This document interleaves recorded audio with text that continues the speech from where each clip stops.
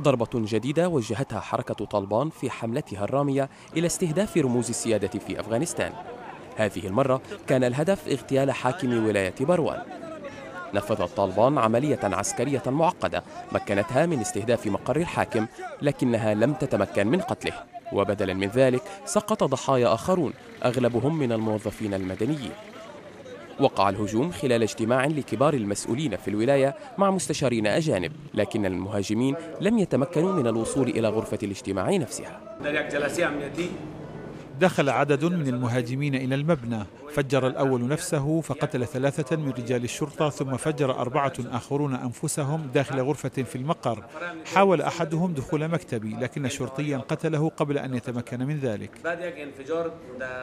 الهجوم الذي نفذته طالبان كان يرمي إلى التخلص من عدو قديم للحركة.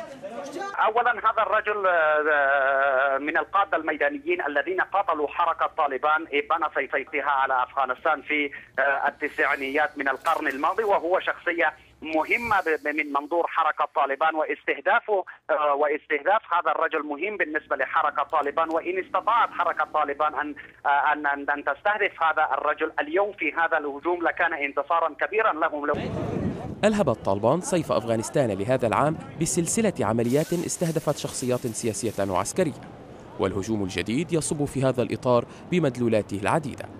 فولاية بروان ظلت في منأى عن الهجمات التي تشهدها أفغانستان ما يعني أن طالبان نجحت في إدخال منطقة جديدة إلى دائرة الاستهداف.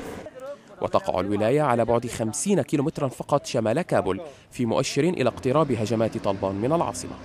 رياض الحاج بي بي سي.